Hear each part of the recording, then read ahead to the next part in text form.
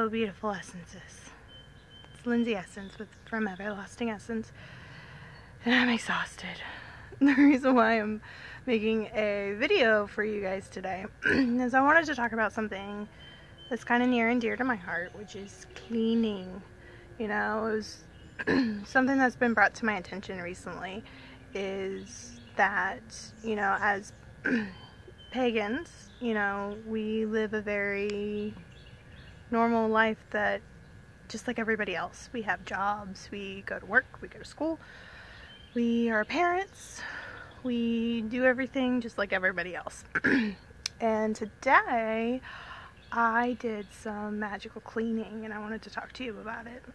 I say magical, but it's more like intental, intent cleaning. You know, I take something as mundane and simple as sweeping and doing dishes and mopping and turn it into a spiritual experience.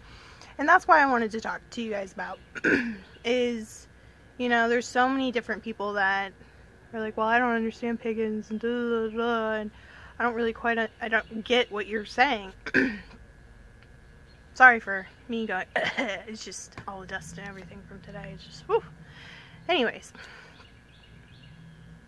the point of, of it is, is I want to convey to you what it is like for me to clean. You know, it's like the shedding of, um, it's the same as like taking a shower, shedding of, of the skin cells. And you know what? I see, we'll take it, we'll take it real simple, you guys. Home is sacred, sacred space. You know, it's, it's a place you come to break bread. It's a place you come to sleep. It's a place that you come to relax. It's a place that you can do work in. It's a place where you raise your children. It's a place where you are a family. Millions of different things. And so the whole entire process of cleansing and cleaning and maintaining is important.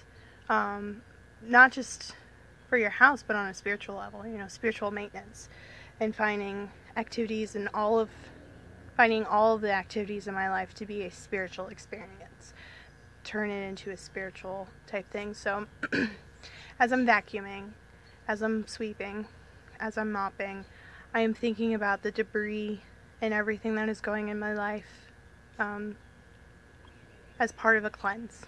You know, it's a spiritual cleanse. And that's the intent. That is what I'm thinking about as I'm doing this. You know, it's for me, I try to live a very spiritual life in all of my affairs today and all in every aspect of my life.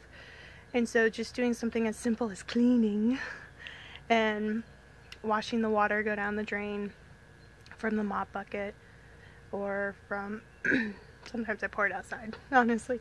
Put it back into Mother Earth. I think I did one to Mother Earth and one down the drain because I messed up the the cleaning whatever. And then um you know, washing the dishes, seeing all the suds every day. You know, just the cleansing, cleaning, having a clean slate. You know, that's what I'm thinking about. So I just wanted to post a quick video for you guys of just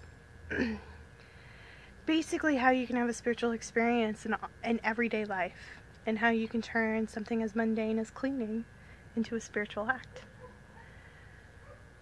So yeah, if you like this video, like it, thumbs up, subscribe below so you don't ever miss a video. Comments if you have comments and questions and whatnot or video suggestions or anything. And you guys have a blessed day. Namaste.